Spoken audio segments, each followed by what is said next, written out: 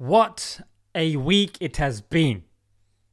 I think it's time you and I had a little chat, don't you? Douche! Assalamu alaikum, guys. Right. Left. All around. We have been absolutely immersed in celebrity stories. I think this week we have seen the age old Roman saying, bread and circuses, being embodied by our mainstream media.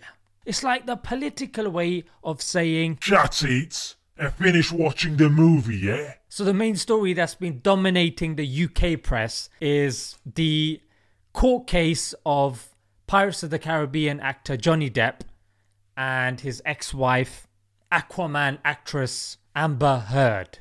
It was literally front page after front page. One absurd story after another. Guys, You're watching. guys. You're, you're somebody that must dirty. be watching You're pornography. Now don't get me wrong. Of course I want to hear that somebody took a dump inside Johnny's bed, but I just don't want to be hearing about it in the news. It's like when I fall ill and I go to the doctors. I don't want to hear that Messi's got a sixth toe whilst he's signing my prescription. My leg.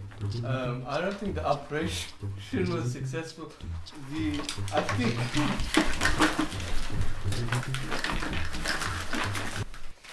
I will send this in the mail. Next patient, Catherine. yeah, but you I've healed him. He is cured. Just do what you're supposed to be. I'm, I'm vulnerable, mate. Yeah, I'm not well. I want you to help me, mate. So just ignore my problem, prescribe me some painkillers, tell me to have some bed rest, and send me on my way. I call this Paris, Paris, yeah, Paris. um, Oh, is that gonna? That's gonna solve it. that's just. That's gonna solve it. There we go. Has it worked? is, is Let's not mess with the way nature has intended these things, yeah? And on social media, the affair of Will Smith's wife is the talk of the town. Day after day, that story is trending with one revelation after another. And of course, the mainstream media has jumped on that bandwagon as well. Yay! And might I add, If they're not too busy reporting about Princess Diana's ghost, yeah? Because you know what? These are the main pressing issues that the United Kingdom is dealing with. Now, I know what you guys are thinking. Maybe this has been a dry week, yeah, in British politics. But you know what? It actually hasn't. Yeah, let me give you three international stories that should be on the front page. The first being UK selling arms contributing to the bombing in Yemen.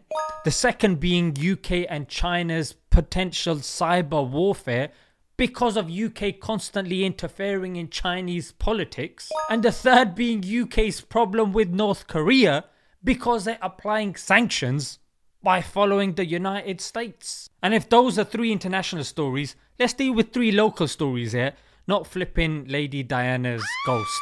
Like, number one, you've got two political associates being done for paedophilia. One is a Labour, ex Labour associate, and another one is a Conservative associate. So it don't matter which political party you follow, you get a pedo either way. That ain't a good thing, is it? no, well.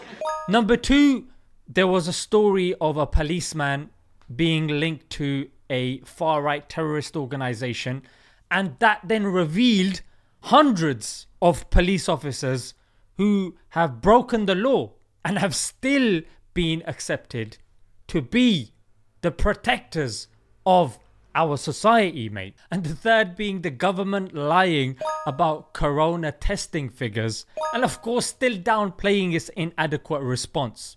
Whether we like it or not, the media will continue force feeding us these celeb stories. Why? Because these stories actually provide a good distraction from the stuff that actually matters, like stories to do with education, our health, the economy. Where once we had journalists like John Pilger who would write exposes and actually give us useful stories, we now have journalists that are pretty much illegitimate children of these politicians.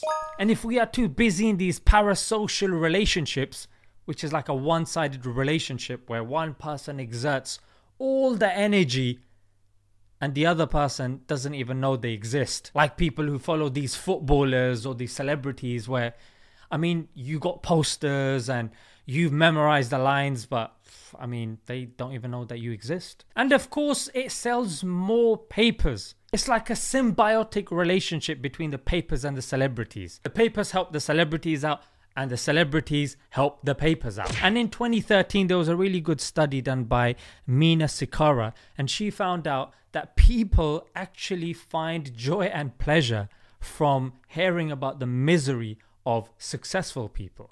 So, either way, whether we like it or not, these stories will continue. And if you are to find stories that are actually useful to you, you might have to dig a little deeper and not rely on mainstream news apps like Sky and BBC.